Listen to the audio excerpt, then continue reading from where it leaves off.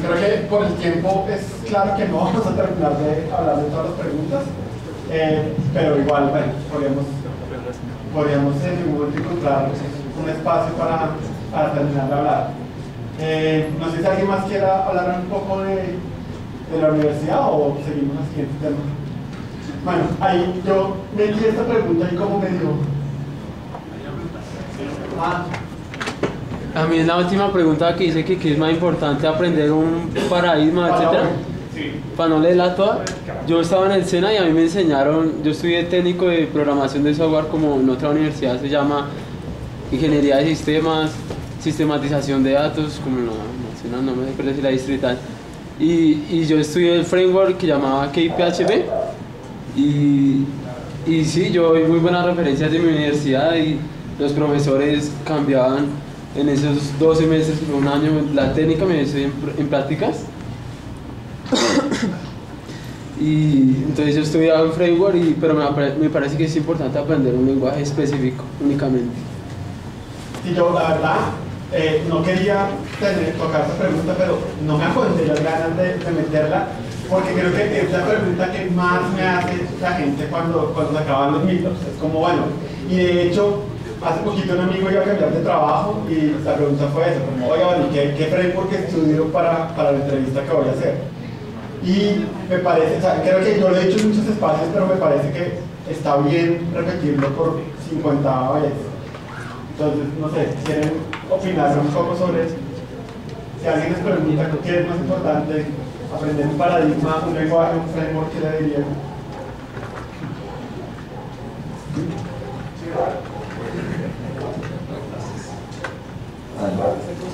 Eh, yo creo que es mucho más, no, mi opinión personal es que es mucho más relevante aprender un paradigma que un lenguaje o un framework. Los paradigmas te, cambian la forma de pensar, digamos, no es lo mismo la forma como uno piensa cuando hace programación orientada a objetos que cuando hace programación funcional. Es totalmente diferente. Mientras que, por ejemplo, yo aprendo Java y después salto a C Sharp, cambié de lenguaje, el paradigma es igual y lo puedo y creo que uno cambia entre estos lenguajes muy rápidamente, digamos que el paso es muy transparente. Y, y yo creo que lo que más agrega valor es aprender un nuevo paradigma que te cambia la forma de pensar. En cuanto al framework, pues el framework realmente, no sé, lo lees y lo aprendes en un par de días, un par de semanas, tampoco es, es tan grave. Creo que lo que más agrega valor es el paradigma. Eh, es más importante, eh, creo que es más importante, nos pone a todos en que sí es importante aprenderlos todos, ¿no? O sea, no es, si aprendo uno no es necesario el otro, creo que sí, tenemos que aprender un lenguaje, un paradigma, un framework. Estoy de acuerdo con, con, con, con Felipe, no, con Julián, perdón, eh, que sí es, es más importante el paradigma, pero también tenemos que aprender a desaprender paradigmas, porque a veces, eh, eh, por ejemplo, hoy en día Scala está ganando mucha fuerza y programar en Scala no es lo mismo que programar en Java. Entonces, si no aprendes a desaprender, no vas a aprender nuevamente. Entonces, creo que eh, el, el- el- el- aprender paradigmas y desaprender y aprender nuevos paradigmas es más importante que el lenguaje, porque una vez aprendes el paradigma, aplicarlo dentro del lenguaje va a ser más fácil y luego vas a saber, si sabes el lenguaje y el paradigma, vas a saber el uso que le puedas dar al framework, eh, porque también es importante aprender el framework. Entonces, en ese orden de, de- de ideas, es- todos son importantes, hay que aprenderlos, pero si hay uno que hay que aprender a aprender, es a hacer entender cómo se piensa en un paradigma de, ya sea de programación eh, o, de, o, de, o, de, o de- comportarse en, ciertos espacios eh, al momento de hacer resolución de problemas. Eh, y los paradigmas nos ayudan a abstraer situaciones, a ponerlas en- en- en patrones y a resolverlas con los paradigmas que, que aplican dependiendo de los, de los problemas que, que- en los cuales aplican los patrones que, que se están resolviendo. si por favor, de verdad, si van a empezar, o sea, si van a presentar una entrevista de trabajo eh, pues, en algún momento de este año, de verdad, revisen lo, lo, que la gente cree que es básico. Y a veces la gente dice como, ah, pero eso yo lo aprendí, no sé qué. Yo les, contaba hace poco en, otro meetup, eh, es libros de cómo programar orientado por objetos se escriben, creo que cada año sale uno nuevo. Hace poquito, en el febrero de 2017, compré uno que se llama Beautiful Objects. Y efectivamente hay muchas cosas que todavía, digamos, del paradigma todavía como que se están destinando de alguna manera. Entonces hay demasiadas cosas que uno tiene todavía por aprender del paradigma. Entonces no crean que si están revisando lo, lo básico, están estancándose de alguna manera o están perdiendo competitividad. Yo les diría, es más competitivo alguien que tiene claro el paradigma que cualquiera de, las otras cosas.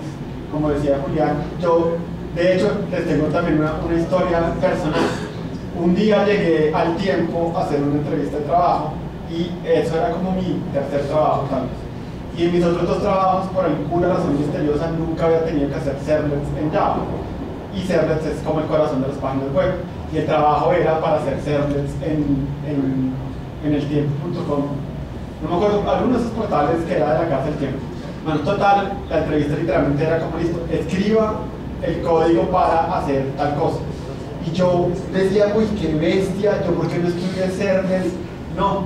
Y dije, bueno, lo único que se me ocurre es describir de, la mejor manera la forma en que yo atacaría el problema sin saber el código, saber que uno tenía que poner eh, pues, extends, eh, servlet, eh, HTTP servlet y describir de la mejor manera la forma en que yo separaría las capas de la aplicación y como esta clase tiene que hacer esto y una clase que haga esto y esta clase hace esto. Y la ventaja hacer esto es por eso literalmente escribí un, ensayo y no eché una línea de código y me dieron el trabajo. Entonces efectivamente es lo que les digo el framework se aprende y se aprende muy rápido pero las partes del paradigma son increíblemente complicadas de aprender y como les digo, todavía no hay consensos claros sobre cosas si alguien escribió un libro de 200 páginas este año para hablar cómo deberíamos usar los objetos, pues claramente hay muchas cosas que todavía hay por decir. Entonces, de verdad, por favor, por favor, párenle muchas, muchas bolas a las bases. Preocúpense un montón para entender los objetos y cómo funciona eso y qué ventajas y desventajas tienen. Lo que decía Julián también parece súper valioso, aprendan otro paradigma porque ahí es donde uno empieza a entender mejor qué es lo que buscan los objetos y cómo lo solucionan otros lenguajes, eh, otros paradigmas. entonces eso es súper súper chévere. Así nunca vayan a, trabajar en, en, eso, aprendan la programación funcional. Y obviamente también aprendan otros lenguajes porque también la manera en que los lenguajes interpretan los paradigmas es interesante. Entonces aprender Java es chévere porque me muestra una manera de entender los objetos y JavaScript tiene otro concepto, por ejemplo, sobre qué debería ser la herencia. Esas cosas son súper valiosas. Entonces, antes de preocuparse por los frameworks, que es lo que todo el mundo cree que para hacer, para tener empleabilidad debería saber el framework de moda, no, aprendan los fundamentos.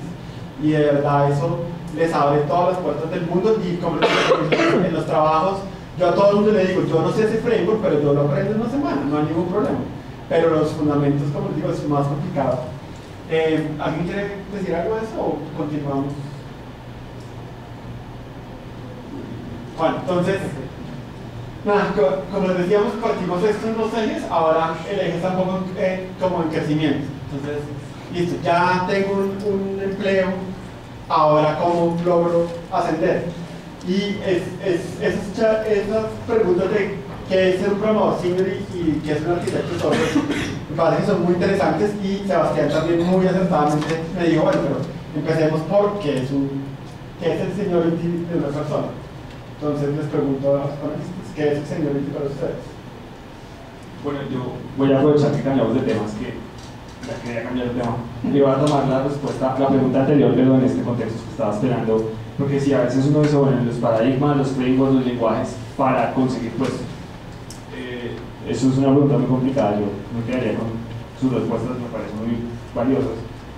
Pero digamos, ¿qué pasa cuando uno ya está en puesto y uno se hace esa pregunta?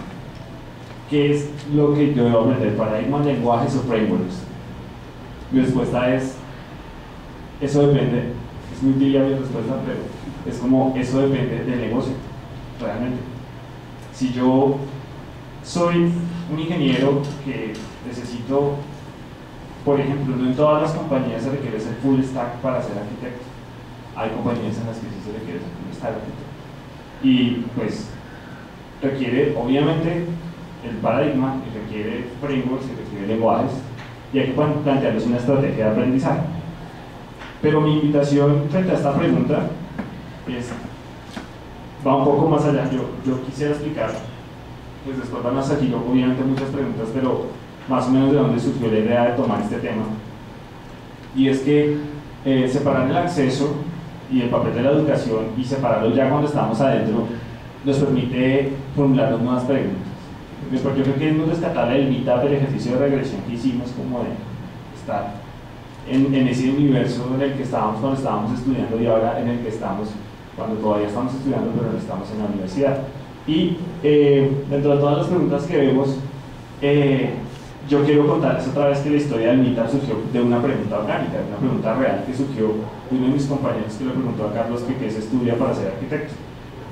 Eso tiene, pues, si desglosamos la pregunta, el, el, arquitecto es un rol dentro de Huge que está por encima de los programadores seniors eh, y no necesariamente encima de una verticalidad total, sino en una, en una construcción de otras cosas y otras competencias. Y la primera pregunta que a mí me surge y es, bueno, ¿qué tipo de preguntas nosotros nos hacemos para estar o no en una posición en una compañía? Y lo más importante, a mí me parece, es empezar por el principio. Mi respuesta es muy custom y es muy plástica y va, a ser como muy, pues de pronto, de pronto eso es lo último de la respuesta. Y es, trabajar en una empresa de software es trabajar en una empresa de conocimiento. Y muchas veces nosotros preguntamos, ajá, el framework, paradigma, el lenguaje front-end, backend, QA, y a veces se nos olvida que es un negocio de conocimiento. Y cómo funciona un negocio de conocimiento. Hay tres elementos claves en, en, toda gestión del conocimiento, que es cómo adquirir el conocimiento, cómo compartirlo y cómo crearlo. Y nosotros trabajamos en, en entornos realmente complejos. Entonces, a veces nosotros creemos que aprender un paradigma, aprender un framework, o aprender un lenguaje y no es lo mismo. Y lo que pasa es que, como vemos, vuelvo y ataco el asunto cultural. Nosotros yo aprendo, yo aprendo por mi cuenta y yo sé, y hágame pruebas y yo se las respondo. Y me dice sí. Entonces, ¿cuál es el método de aprendizaje válido, el suyo o el del otro? Entonces me dice, no, no sé cuál. Yo diría que es el mío porque yo sé. Si quiere pregúntame, pongo una prueba técnica etc. Entonces, en ese sentido, digo, falta gestión de conocimiento. Y en mi caso, yo en las empresas en las que he trabajado he ayudado a candidatos a entrar a las empresas, es, decir, lo que se conoce como vender candidatos. No sé si alguno lo ha hecho, me imagino que sí. Y es como, antes la mano que han sido candidatos. Pero yo no dice, ¿por qué lo vendes? ¿Es deshonesto? No, es que es el negocio. O sea, realmente uno dice, gran parte de los recursos eh, son los recursos humanos, o sea, es el talento, es generar un clúster aquí en Colombia, entonces pues hay que vender la gente. Y hay gente que no se sabe vender y hay que ayudarla a venderse. Totalmente. En ese sentido, lo más importante es reconocer qué es el, de qué tipo de negocio estamos hablando. Por ejemplo, tuve la oportunidad de trabajar en alguna empresa que el cliente no era el cliente directo, sino era una empresa que contrataba recursos acá en Colombia y esa empresa tenía realmente el, tipo de cliente que tenía en el extranjero. Entonces nosotros, y nosotros no éramos, el no éramos la única sede, Colombia no era la única sede. Entonces yo entraba, yo decía, oiga, ¿cómo es el señor de aquí? Yo quiero ser senior acá. Y yo me preguntaba, si yo no entiendo el negocio, ¿cómo voy a entender que es el senior? ¿Cómo va a subir? Entonces empezaba a preguntar, bueno, ¿dónde están los que entienden? ¿Dónde están no sé qué? Y lo que primero decía se fue observar. Entonces era muy chistoso porque eh, éramos, no éramos los únicos, había también indios. Entonces eh, estábamos, no sé, en una llamada, Estados Unidos, eh, Colombia y allá en la India, a las 11 de la mañana. Entonces obviamente entraba un indio todo trasnochado, porque a las 11 de la mañana el man estaba como a las 3 de la mañana y empezábamos a dar el reporte y pues, no, que pues en su reporte y pues uno decía, no sé, pues, aquí yo ayer estaba todo perfecto y hoy me levanté y, y está dañado. Entonces le tocaba al man y el man decía, uh, pues a mí me liguero que pusiera eso ahí, yo, y eso es Eso es una cosa que me dice, ¿cómo así que el man no se comunica? Pues primero, ¿a qué hora se comunica? Exacto, ¿con quién se comunica? Y segundo, ¿qué tipo de trabajo estamos nosotros tercerizando? Ahí fue donde yo empecé a entender el negocio. Un framework es más recetas que otra cosa. Entonces, si nosotros hacemos una escala pedagógica, como hay modelos de skills, como por ejemplo el modelo de Dreyfus, dice que si nosotros hiciéramos una pirámide desde la base hasta lo que es un experto, lo primero son las recetas. Pero yo a veces necesito gente que me haga recetas, yo a veces necesito que me hagan los templates me hagan el frontend de un CMS, necesito hacer tantas secciones y, yo digo, no necesito entonces, entonces llega el tipo de los paradigmas y me dice, no, mira, el paradigma es un CMS ya está dado, es que, digo, ¿lo puedes hacer? Me no, no puedo. En el momento, hands on. Y ponemos a la gente que tiene los skills. ¿Qué skills son? Skills operacionales. Por encima de esos skills, tenemos los skills que son capaces de ver patrones. Ahí ya nos centramos más a ver una persona que maneja más de un lenguaje, más allá de los paradigmas y más allá de otras cosas. Eso yo pues estoy encadenando de una vez por contrabando la pregunta del señor. Y más allá de eso, acompañado de otro asunto. O sea, no hace falta que yo sea, entonces uno dice, no, entonces me sé todos los lenguajes o me sé todos los frameworks. Y uno dice, si se sabe todos los frameworks, no necesariamente tiene el nivel de señorita que requiere el ejercicio pues, de conocimiento que está haciendo la empresa. ¿Por qué? Porque puede ser mago de las recetas pero si necesitamos ir más allá, o si estamos trabajando sin frameworks, o si estamos trabajando en una solución que utiliza un framework por acá y por acá estamos solos, nos metemos en Google App Engine y hágale desde ahí. Y me dice, ah, no, no, no sé. Ahí es donde está el asunto de la mente. Hay que aprender a ver qué papel jugamos en, en el asunto del conocimiento en nuestras compañías. Y voy a traer un ejemplo de, de, de la sesión anterior que nosotros estábamos, que ahora sí viene a aplicar acá. Y es el asunto de los soft skills. Yo siempre he sido muy dado al entrenamiento soft skills en, en, las empresas y yo considero que es una cosa que se complementa naturalmente con los empleos. ¿Por qué? Porque nosotros no solamente tenemos que adquirir conocimiento y yo creo que es una invitación que les hago, no solamente nos concentremos en el tema de adquirir conocimiento, pongamos también en el tema de compartir ese conocimiento y crear conocimiento. Y muchas veces lo que no nos deja pasar de un cargo a otro es eso. ¿Usted es capaz de compartir el conocimiento que tiene? volvamos al asunto que comentabas. Entonces estoy en una clase y la clase no me gusta, así cuando estábamos en la universidad. Y me dicen, no, entonces ¿qué hacer? Lo que yo dije es hablar. Pero, pero no solo hablar con el profesor. ¿sí? Pues, hable con el mañón, hable con el que le va bien. Hable con el que le va bien. Y dice, no, pues ese mañón va bien. Y dice, no, pues en, todo, en toda clase hay ñoñazo. Y si, no, si usted no detecta ñoñazo, ñoñazo es usted. Pero eso se ve en las clases. O sea, y en el trabajo lo vemos. Tenemos que hablar con gente con técnicas y con, sobre todo con skills de todo tipo, con barreras de cultura, con barreras de comunicación. Y si nosotros no somos capaces de, en, nuestra educación en la universidad, de hablar con el niño y decimos, no, me voy, me voy de la clase y vengo a los parciales, imagínense lo que va a pasar en el trabajo cuando se tenga que trabajar con gente que es la que sabe. Usted sabe que es la que sabe y ahí yo no voy a poder decir, no, es que no me gusta, el presidente de la compañía, no me gusta este proyecto, ¿me cambias? Es decir, tome vacaciones o algo así. En ese caso, tenemos que, por eso es tan importante el asunto de los soft en el asunto de seniority. Si nosotros tuviéramos que resumir seniority en una palabra, ¿ustedes qué dirían? Esa es una pregunta que le hacen a uno a veces lo que así contra la pared.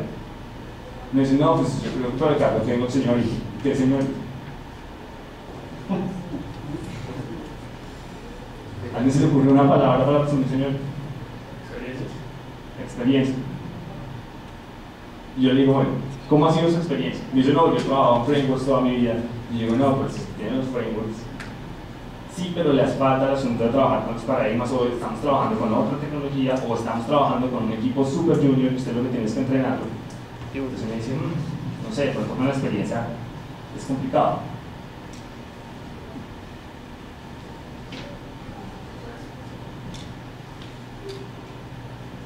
ya había comentado que yo estoy en recursos humanos y busco, pues, sido IT recruiter. Eh, cuando yo veía un senior, era qué tan asertivo era frente a un problema. Entonces, eh, más allá de la prueba técnica, de la entrevista, de que pasó la, prueba psicotécnica, no está loco, no venido a matar a la gente, eh, es ponerle el caso, caso de prueba. El cliente le pasa esto, etcétera. La persona presenta la solución eh, y de qué forma.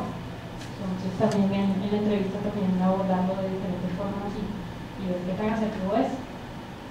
Lo que decía también Sebastián. Eh, ¿Cómo es la persona frente a un equipo de trabajo? Y en una palabra. Asertivo. Pero sí es más, más, más, más soft skills. Es, es más eso. Y si tuviéramos que balancear, porque también puede ser el tipo más buena gente y querido del planeta, es lo más asertivo, pero a la hora del término dice, bueno, vamos a hacer las vainas. No, no sé, no sé, no sé. Entonces, dentro de todas las posibles palabras, yo escogí una que es responsiveness. Ser senior es ser responsive. Y ser responsive es, tener la capacidad de responder frente a la situación en la que me asignan el cargo.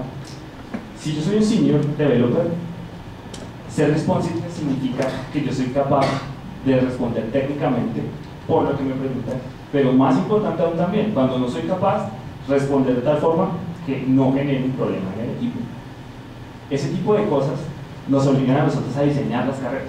Por eso, por eso en, Huge, en los, programas en los que yo, por ejemplo, yo soy arquitecto, con mi responsabilidad ya involucra trabajar con la gente. Y a mí, parte de mi trabajo es sondear constantemente qué sabe uno o qué no sabe mi gente.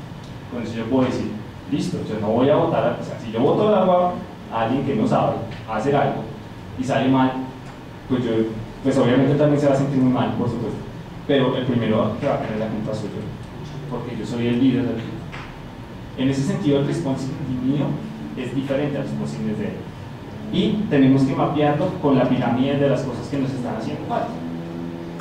Hay diferentes tipos de arquitectos y esta respuesta depende muchísimo del contexto de la empresa que estén. Por ejemplo, hay un arquitecto que es el arquitecto especialista. Entonces tenemos un arquitecto especialista en Java o un arquitecto especialista en .NET. Y son personas que llevan muchísimo tiempo. La otra vez, la, la pregunta del lenguaje, el paradigma y el framework, toma otro punto. Son personas que dominan el lenguaje, pero pues, obviamente trabajando y ganando ese nivel de experiencia, tienen manejo de todos los paradigmas sobre ese lenguaje y obviamente han usado uno que otro framework dentro del lenguaje. En ese sentido nosotros decimos, listo, digamos la experiencia está concentrada. En mi caso, ese no es mi caso, yo soy un arquitecto de varias tecnologías. Yo soy arquitecto de, de tecnologías que ni siquiera conozco. En ese caso, imagínense cómo es la gestión de conocimiento de la compañía. Yo me ponen a liderar equipos de tecnologías que no conozco. De tecnologías tan nuevas que ni siquiera que es muy difícil encontrar en el mercado gente que las conozca. Y de nuevo, otra vez la pregunta. Es, tengo que hacer la gestión de conocimiento. Adquirir, crear y compartir conocimiento. Si yo lo adquiero y no soy capaz de compartirlo, me da totalmente igual. Porque ellos quieren un equipo, ellos no quieren una sola persona. De nuevo, ¿qué hace uno? Recetas. Ahí sí me toca soportarme los framework. Yo normalmente cuando, cuando me enfrento a un tipo de retos de eso, yo tomo mayor tiempo. Esa es una de las preguntas que surge atrás, es quién paga por eso. La empresa paga por eso. En mi caso, y los invito a todas las personas que estén identificando la línea de negocio, en el negocio en que están y están, y están haciendo eh, desarrollo, que se pregunten y digan, oiga, yo necesito tiempo para adquirir un conocimiento. Ahora, si yo le digo al gerente, necesito el 30% de mi tiempo para que nadie me hable y yo voy a estar aprendiendo, pero no voy a hacer nada con eso, pues no me lo va a dar. Entonces yo digo, con el 30% del tiempo que usted me da, yo le voy a garantizar que el equipo vaya a hacer, va a hacer un skill leverage antes de que empiece el trabajo del proyecto. Entonces van a decir, hágalo. Por ejemplo, ¿quiénes trabajan con metodologías ágiles acá? ¿Cuál es el prejuicio? ¿Cuál es el prejuicio? ¿Cuál es el paradigma? Pensemos en el, en el sprint, ¿no es cierto? Hay cargos en la, en la arquitectura que requieren por la complejidad del proyecto que el arquitecto vaya fuera del sprint, que vaya uno o dos sprints adelante. ¿Por qué? Porque eso le da la capacidad de absorber el conocimiento nuevo y de tener el responsiveness. Y ahí es donde, está otra vez el, asunto. El responsiveness es clave, yo creo que es la base de lo que, de lo, de lo, que la, respuesta que no le daría. Y si, si, si Pablo me hiciera la pregunta a mí, como que yo qué debo estudiar para ser arquitecto, yo diría, pues debe estudiar lo que lo haga más responsive. ¿Qué es lo que le está haciendo falta ahorita para ser responsive? Si yo le voy a a la gente, ¿qué es lo que le está haciendo falta para manejar el equipo?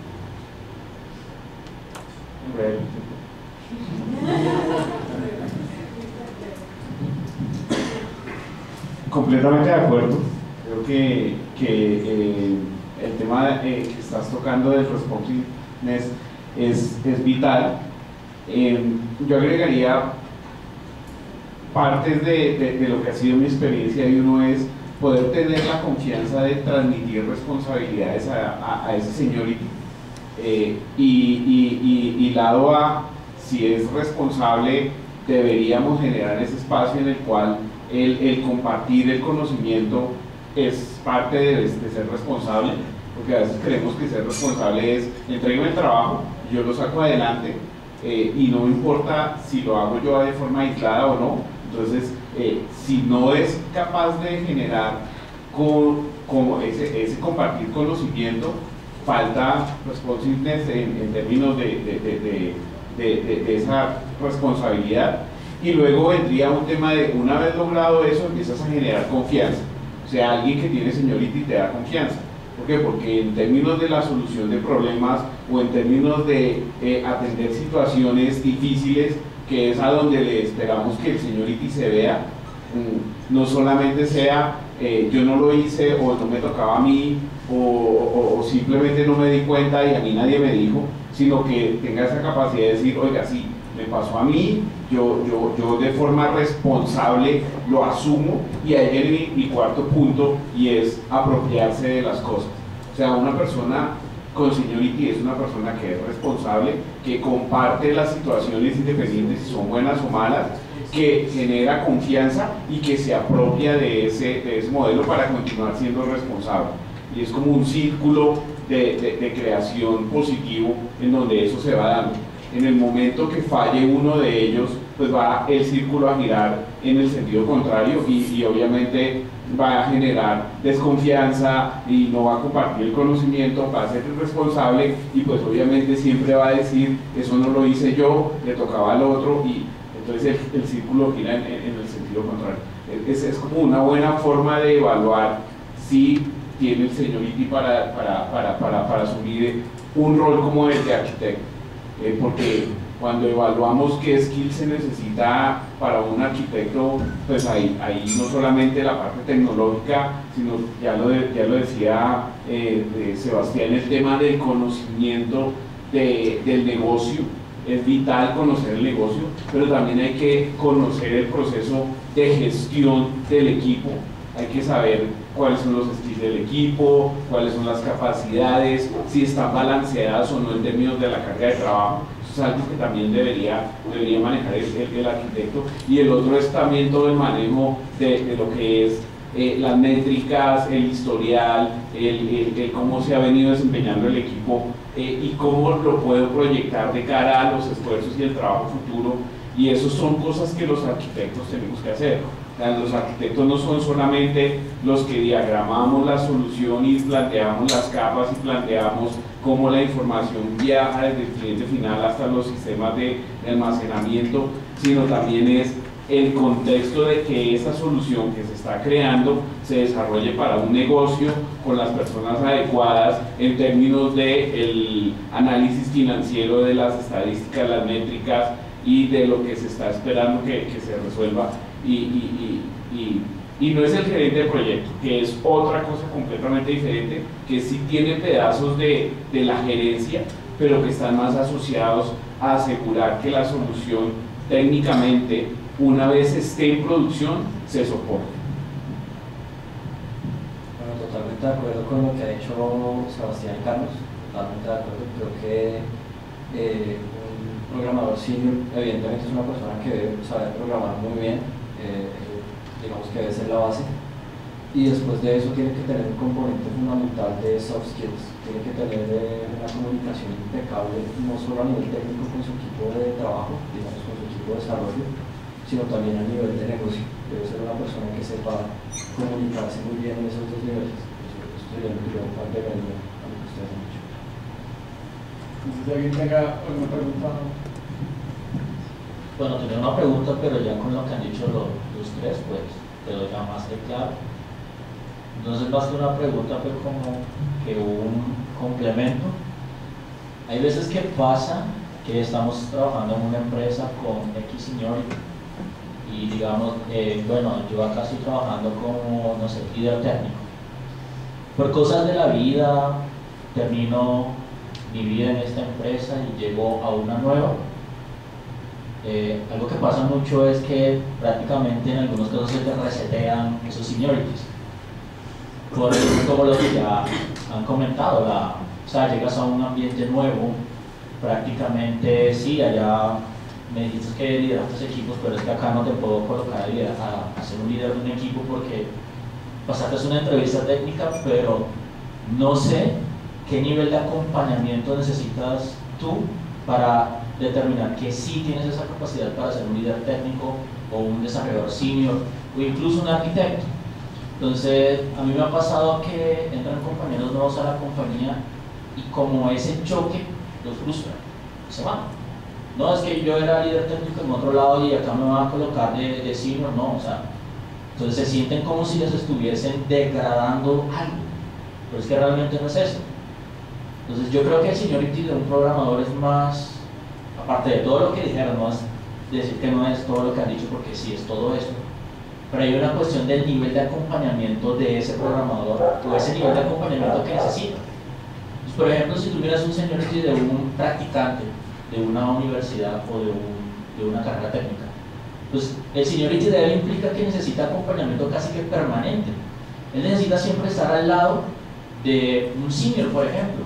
Siempre estar ahí con él, guiándolo y tratar de explicar las cosas para que no llegue a soluciones que generalmente no son la mejor solución. Entonces, conforme uno va necesitando menos acompañamiento por parte de otros compañeros del equipo de trabajo, vas adquiriendo como un seniority mucho más alto. Entonces soy un junior, requiero menos acompañamiento que un practicante.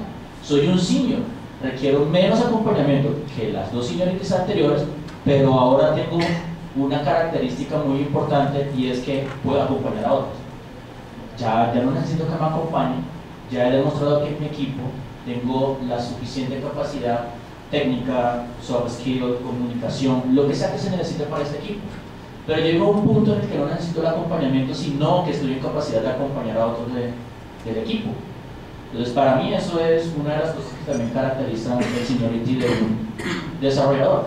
Entonces llega a un punto, y por eso está el senior, es como, necesito acompañamiento, acompañamiento, soy senior, no necesito más acompañamiento, Tal vez necesito aprender algunas cosas que me sirven para ser luego arquitecto, pero ahora estoy en capacidad de acompañar a mis otros compañeros a que mejoren su seniority. Entonces era como, lo, como la única cosa que voy a hacer. Bien, gracias. Eh, creo que yo de los preguntas y tal se quedó algo por fuera, o es pensado tan difícil, pero soft skills, definitivamente eso es lo más importante. ¿Cómo se aprenden soft skills?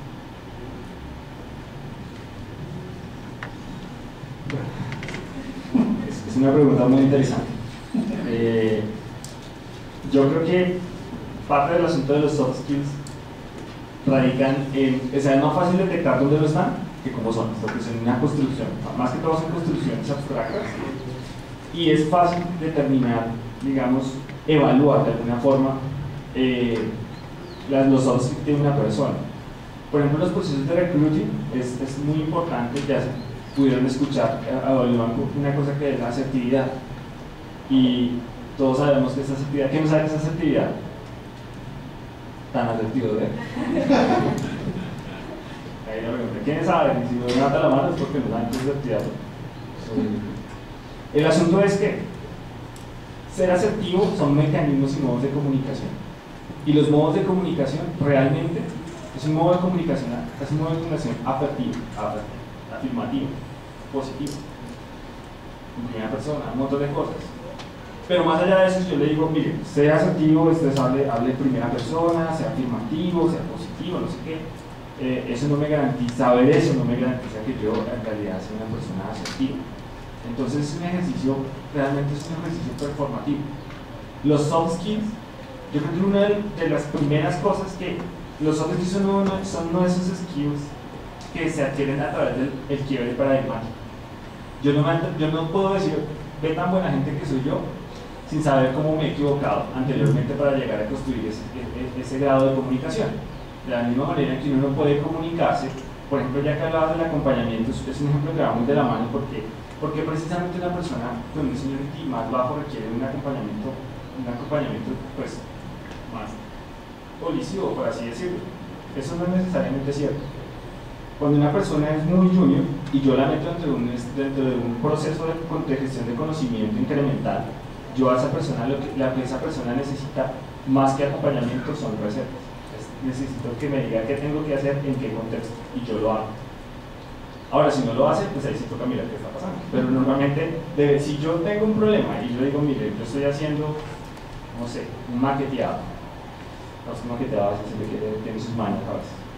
Pero si yo estoy haciendo algo más sencillo y yo necesito, de alguna manera, tengo la manera, sé la manera de hacerlo, tengo los datos, el procedimiento y lo hago y funciona, eso realmente es un proceso que se me convierte en la, base de la pirámide.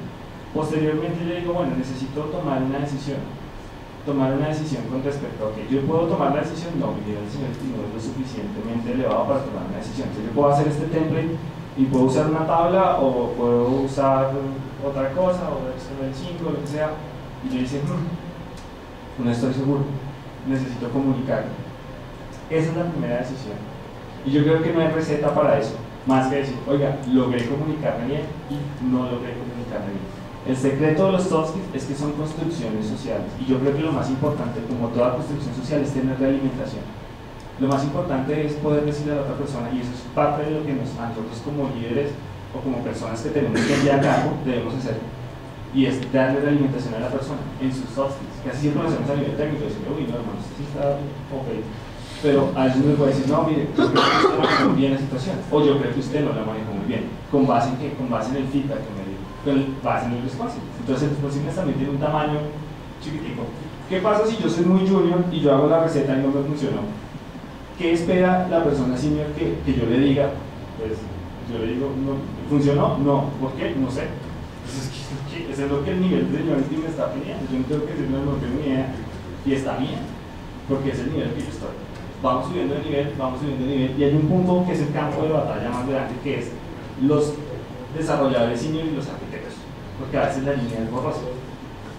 Entonces a veces uno empieza y dice, es que me tiene una mala el y por eso no es arquitecto. Esa puede ser una hipótesis.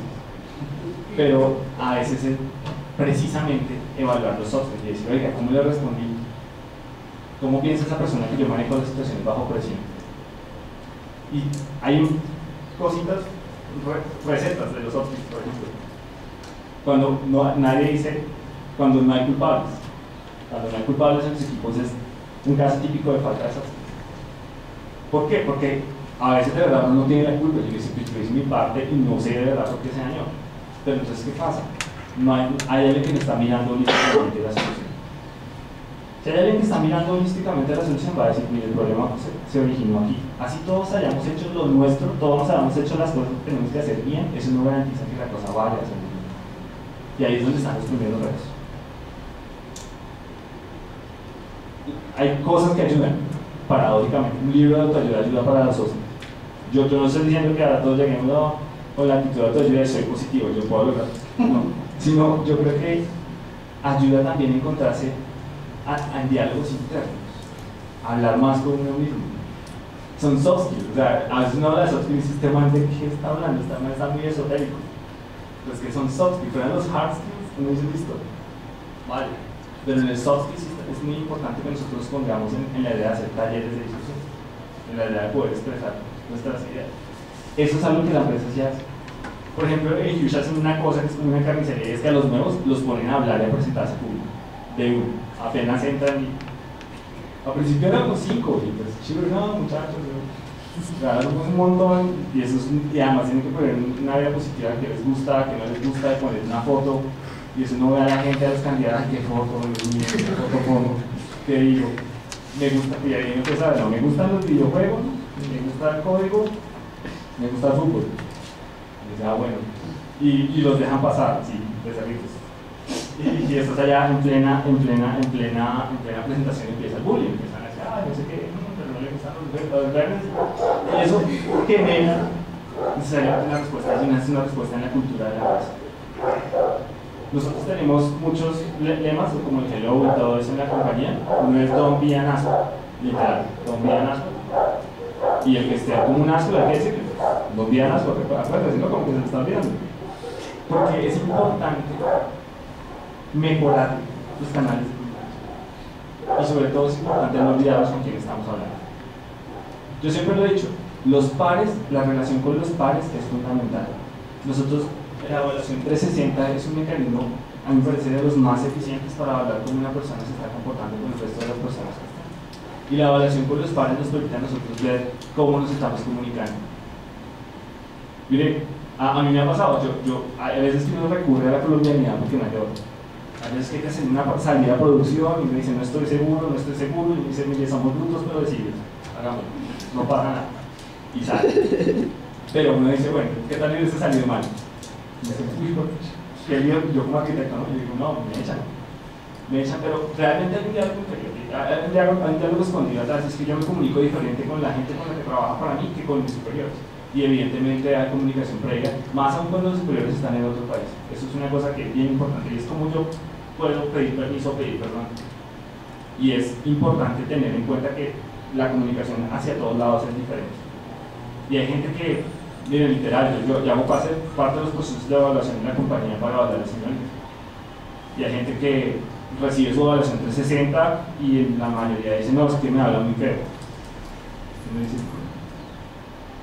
Y uno dice, bueno, ¿y usted qué opina? Y él dice, no, pues lo que pasa es que yo hablo así y yo soy así. Y el que no le guste, pues no. Sí, sí, es complicado. Y, y, uno dice, bueno, ¿y cómo trabaja uno con eso? Y si el man, y el man.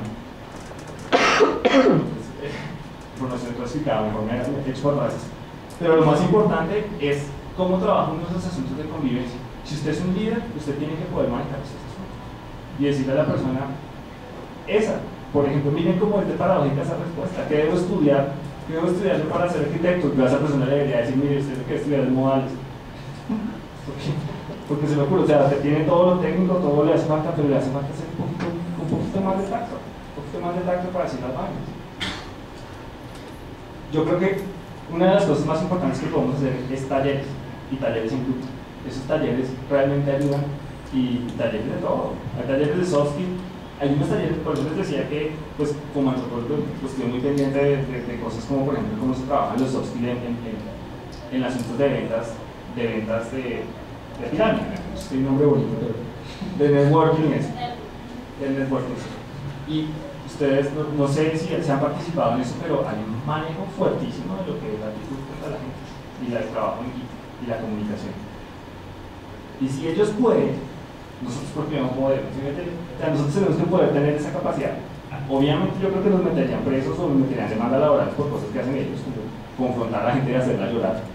Y no, diga, cuando era chiquito, no, pero ese tipo de situaciones estresantes también tiene que ver con lo que nosotros logramos caricaturizar. Y hay una cosa que sí es mi invitación personal, y es alimentación, no sean, no sean estrés yo no sé, yo sé que, yo sé que esto del código es difícil y me dicen, mire, yo, yo merezco respeto porque yo me he quemado las pestañas estudiando esto. Pero ser stress makers no ayuda a nadie. Y es muy fácil ser stress makers en situaciones donde el ego pesa más que uno sabe. Otro de nuestros valores en Huge, las ideas pesan más que el ego, porque a veces quitarnos el ego es bien difícil. Talleres de ego también funcionan. Hay muchas cosas que son, ni yo les podría decir, usted puede comprarse toda la biblioteca de, de autoayuda pero yo creo que lo más importante es el cambio desde adentro. Y es preguntarse si usted ha tenido, si usted tiene algo por, mejorar. Lo bonito de los soft es que siempre hay algo por mejorar. Desde que usted diga, uy, yo soy muy tímido, eso es la cagada. La, la verdad que viene también son todos los soft bien complicados. Y son extremos, desde que es muy grosero hasta que es muy tímido. Y es muy tímido, y además usted es tímido y no puede hablar. Y súmele el inglés. Se jodió porque esto le da miedo hablar inglés y el parte es tímido. Entonces, ¿qué pasó? Y empieza ese silencio ahí. Aló, aló, están ahí, si escuchan, si me escuchan, no sé si me escuchan, lo que pasa es que no puedo hablar, pues estoy todo miedo. Cosas así. En ese sentido, hay una cosa muy, importante, yo creo que es la última lección, y es que lo más bonito de los soft es que son constructivos socialmente. Cuando usted ve a una persona que está en una situación complicada como esta, que tiene miedo, que tiene nervios, que la cagó, no sé qué, adopta actitudes constructivas frente al equipo, que eso le da visibilidad, porque los soft que son invisibles no sirve para hacer Eso. Bueno, eh, resumiendo eh, parte de, de, de, lo, de, Sebastián y respondiendo, eh, creo que no se aprende, o sea, creo que no hay un método como, aprender física o aprender, sino se desarrolla. O sea, creo que los soft skills se adquieren, se desarrollan. Y ahí el cómo, la pregunta sería cómo logramos desarrollar buenos soft skills me parece que ahí es importante tener una muy buena cultura de, de, de, darle la responsabilidad al coach adecuado para que haga ese trabajo. ¿Y quién es el coach adecuado? El que no solamente tiene buenos soft skills, sino sabe leer capacidades de mejora en las demás personas. Eh, el tema de la retroalimentación retrospectiva o eh, mejora continua, llámenlo como quieran, en términos de, de, las actividades que se ejecutan en el día a día de los proyectos, es crítico de cara a quien tenga la responsabilidad de desarrollar los soft skills del equipo, que no siempre es el gerente de proyecto o el product owner o el, o el que está, porque a veces la presión que tiene que manejar esa persona de cara a la responsabilidad del entregable hace que sea maker. Entonces, normalmente es importante que haya un coach ajeno a esa situación, pero que haga partícipe y que esté enterado de cómo el equipo está evolucionando. ¿Para qué? Para que en esos espacios de presión se haga el proceso de mejora continua y de desarrollo del soft skill. Porque, porque si le entregamos la responsabilidad al gerente de proyecto o al líder del, trabajo de que además desarrolle los soft skills, obviamente va a llegar un, un, momento en donde va a perder el balance entre ambos, entre ambos momentos. Entonces sí, hay, hay que empezar a tener el rol de coach en las empresas, eh, eh, que por ejemplo en situaciones donde está trabajando remoto o está haciendo home office, eh, es más difícil hacerlo, pero también hay que aprender a hacerlo, también hay que aprender a entender cómo se utilizan las nuevas tecnologías para aprender a desarrollar soft skills, para asegurar que estamos haciendo la lectura adecuada de las personas. Una de las cosas que, que yo he aprendido en términos de los soft skills es que al que tenemos al frente, independiente si es programador junior, senior o si es arquitecto, al final es un ser humano. Es un ser humano que tiene el mismo comportamiento físico y, y pues, fisiológico, es decir, es una persona que tiene las mismas necesidades físicas de todos, tiene hambre, tiene sueño, tiene, se puede enfermar, no se puede enfermar, y reconocer primero que todo que lo que hay al frente y que está trabajando en el equipo es un ser humano igualito a mí, ni mejor ni peor, es, es y eso permite que el entender los soft skills eh, eh, haga ese proceso de empatía y de ponerse en los zapatos del otro para poder decir, oye, eh, eres tímido, eso es de facto, nadie te obligó a ser tímido, nadie te, te, te llevó, simplemente así ha sido tu proceso y veamos cómo de esa timidez creamos un espacio en el que aprovechemos eso para moverte a eh, eh, empiezas a expresar y viceversa. Aquel terco que cree que tiene la razón y que, y que todo el tiempo está imponiendo y que sube la voz en términos de cuando está hablando para expresar sus ideas y que empieza a chocar con las personas porque se está expresando muy fuerte y, decirle, oye, tú también tienes la capacidad de hablar de una forma adecuada y empezar a bajar y a, ser tímido entre esa, ese ego que tienes, hazlo y, empezar a hacer ese ejercicio y lo otro es hacérselo uno a sí mismo. O sea, si tienen responsabilidad de coach, si ya tienen esa madurez, de vez en cuando fílmense, eh, véanse al espejo eh, y hagan el proceso de retroalimentación, porque a veces hablar de cómo mejoramos al otro es muy fácil, pero a veces decirnos a nosotros mismos cómo mejoramos es muy, muy complicado y a veces creemos que lo que estamos diciendo es es, verdad y nos estamos dando cuenta que es el ideal del que, del, que nosotros mismos queremos ser.